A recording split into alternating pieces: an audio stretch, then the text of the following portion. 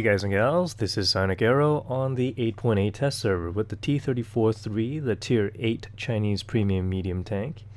And uh, the T-34-3 and the 112 has only recently been made available uh, through the Missions tab. You actually have to play one game on the test server and then you'll be awarded with the T-34-3 and the 112. So let's take a look at the T-34-3 stats compared to the Type 59, which I'm sure a lot of you want to know about.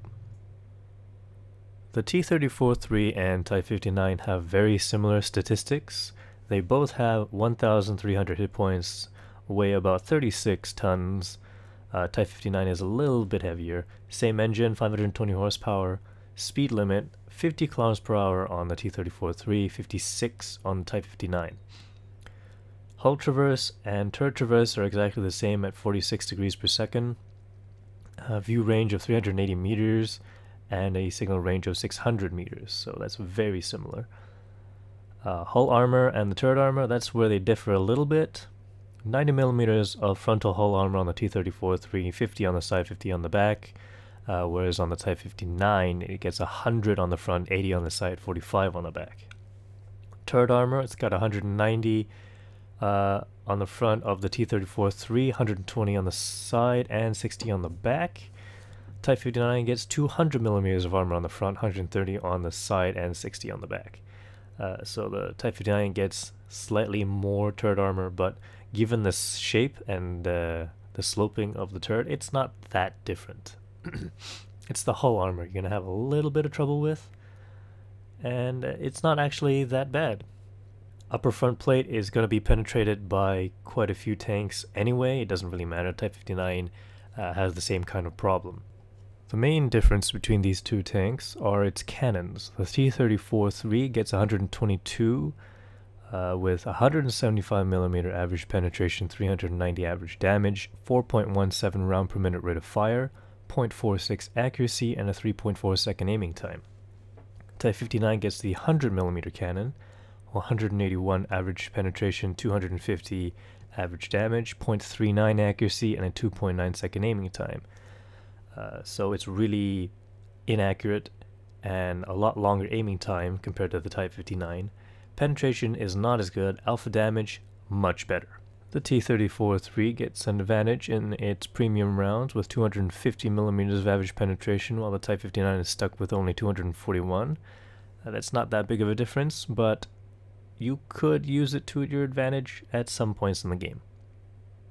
Gun depression on the T-34-3 is not as good as the Type 59. I believe it only has 3 degrees of gun depression, which is not very much at all. You're not going to be able to use uh, any hills very effectively unless you're shooting up at your enemy. Let's get into a game. Here we are on Prokhorovka. It's uh, well, there's a few tier 9s in the game, and I'm just showing you that the gun depression is not very good. The T-34-3 also holds uh, quite a few more rounds than the Type 59, and with a slower rate of fire you're unlikely to run out of ammunition as quickly as you would on a Type 59.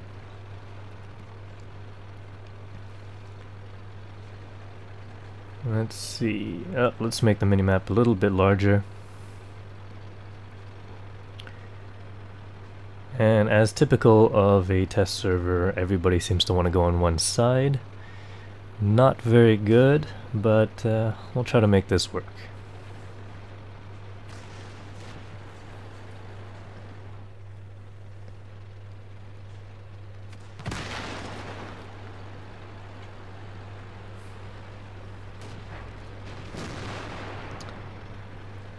Alright, looks like we have a T95 backing us up on the 3 line, or he will be eventually. Let's see what I can get spotted on this side.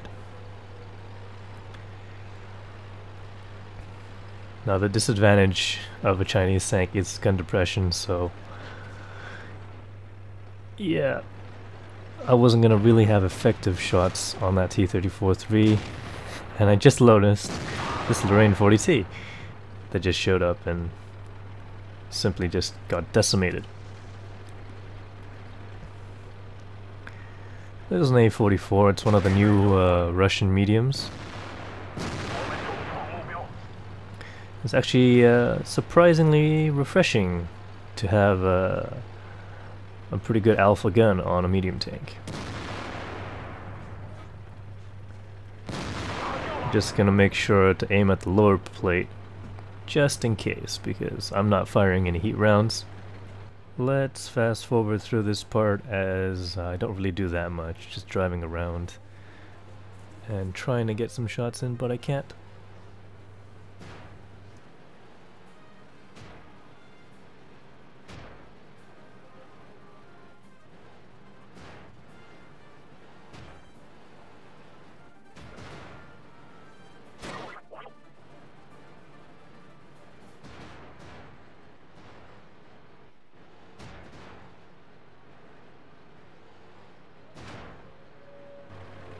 Alright, we're back, and uh, just still driving around.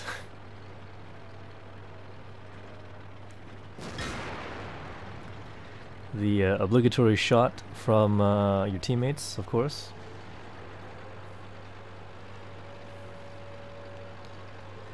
That was at an extreme angle, so I, I doubt he would have penetrated any tank at that at that. Um, but yeah, he got me that time, sure.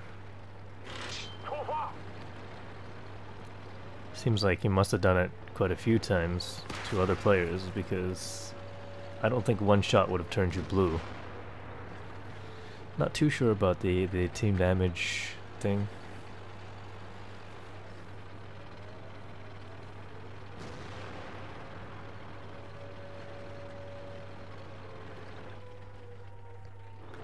The mobility on the T-34-3 is not that bad. It's it's very similar to the Type 59, and if you, if you play those tanks, or, or that tank, quite a lot, then you'll feel right at home with this.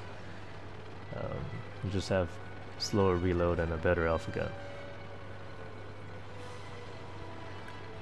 Now here's a 112 on 1 HP. Let's see if I can get around. He gets a shot in and the T95 takes him out before my shot hits. So that was kind of unnecessary.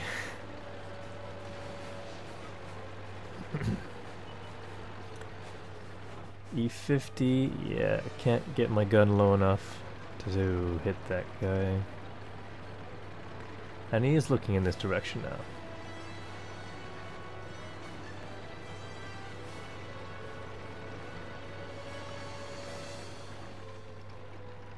Anything over there? Okay, well there's the Foch, still showing side armor.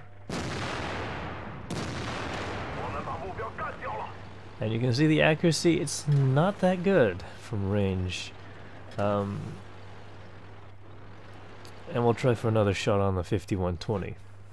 Not much showing there. That time landed right where I was aiming.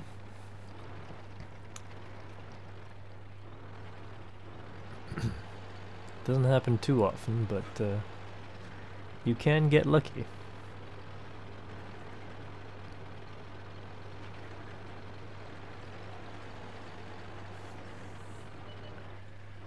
There he is again, he popped up again. ah, but there's a T-71. That was uh, probably a bad shot from me. It wasn't really the fault of the cannon's accuracy that time.